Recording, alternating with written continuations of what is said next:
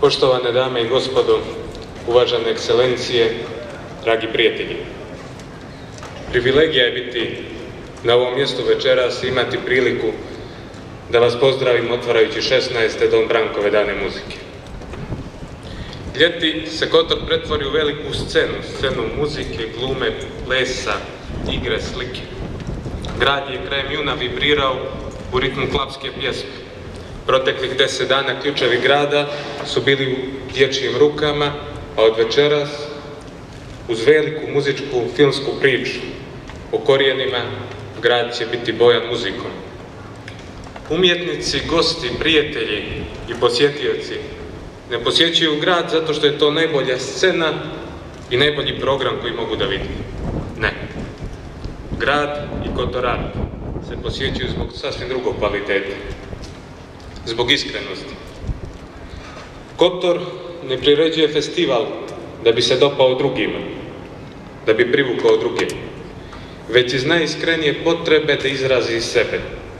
Naslagane hiljade godina istorije se u Kotoru ne materializuju samo kroz impozantne utvrde, crkve, pjace, trgove, već i kroz potrebu da se kroz umjetnost i iskrenost izrazi svako bilo koje je milenijuma udaralo ovim ulicama. Civilizacija konstantno sebi postavlja pitanje o tome da li postoje slučajnosti ili su sve dio nekog velikog plana, čiji cilj i svrhu mi ne možemo naslutiti. Sklon sam da vjerujem da neke značajne slučajnosti predstavljaju sinkronicitet, kojem ne treba tražiti svrhu, već ga prihvatiti i pratiti. Kada se sa gospodinom Martinovićem razgovarao o večerašnjoj noći, pomenuo mi je da će orkestar izvoditi varijacije na temu kola Bokejske mornarice i da je to naručeno još krajem prošlog festivala, što smo obojica prihvatili ne pitajući se da li je sve to baš tako i da li je sve to posljedica namjere. Večeras, stojeći na ovom mjestu, čini mi se da su stvari posve drugačije. Čini mi se da niti je gospodin Martinović sam naručio ove varijacije, niti je gospodin Vuleković sam snimio film, niti je lokalna samuprava sa sama financirala ovaj festival. Svi smo mi bili samo puki izvršioci namjere grada, namjere njegove istorije, namjere da nas sve večeras ovdje okupi i da nas pozove na duboko promišljanje o korijenima. Večerašnju noć nismo mi posvetili gradu. Grad se noćas posvećuje svakom od nas po osobu. Da svi uz iskrene zvuke orkestra razmislimo najiskrenije o korijenima. Korijenima koji su u nama, koji ne vezuju naše tijelo, nego vezuju naše duše. Večera smo pozvani da se vratimo sebi, da se vratimo jedni drugima, da bi se vratili ovom gradu. Vrijedi se zaroniti u sebe u potrazi za korijenima sebe samoga. Kako pjesnik kaže, obraćajući se maslini i njenom korijenu, vrijedi. Makar hlad pod tobom ne postao čak ni trosko.